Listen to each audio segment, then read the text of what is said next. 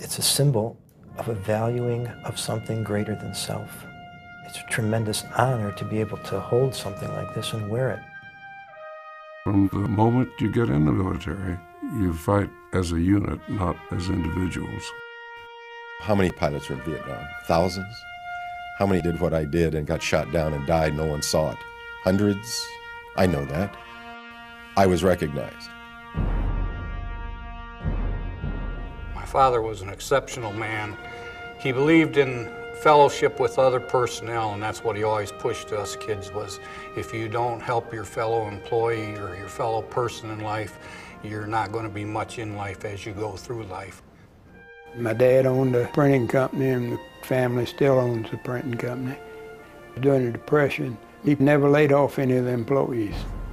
One of the few companies in America that never laid off an employee. Things were tough, but strong father and mother set our compasses for life, and service was a common message. I remember the motto of my first unit, the first division, no mission too difficult, no sacrifice too great, duty first. And I believe that I felt that. When I heard President Kennedy's inaugural speech, that's not what your country can do for you, but what you can do for your country, that was motivating to me. It made sense. So that's why I tried to join the service, because I was doing uh, something for, for my country. A lot of Japanese American boys were interned in camps, but many of them volunteered for service. I felt I was an American like anyone else. Well, they said, no, you have to prove yourself. You have to prove that we're loyal to this country. So young people today, I think any sacrifice teaches all of us that there is something more important than yourself.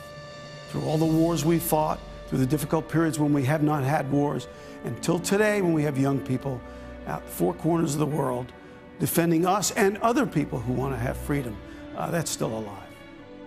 That's why I think the Medal of Honor Society's mission of, of educating the country on what the Medal of Honor means, who its recipients were, uh, the kind of uh, character and commitment that they had to their country is uh, such an important mission.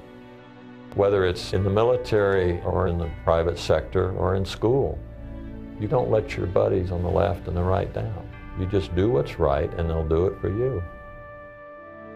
The day at the White House when the president put it around my neck, in the front row I had my family, I had my wife and my mom and dad and brother and sister. But the row behind my family was Brennan's family and next to them was Mendoza's family. And as I felt this light silk ribbon go around my neck, I felt the weight of the sacrifices of those two men and the sacrifices of several of the people in that audience. This is not mine. This is not for me. This represents not just my boys, not just Brennan, not just Mendoza, not all the guys who have been wounded, not all the people who have suffered, not the families that will pay the price for this country it's not for any one of those people. It's for all of those people. And if I gotta do it, I'm gonna do it for them. And there's nothing they wouldn't do for me, so how could I not do this for them?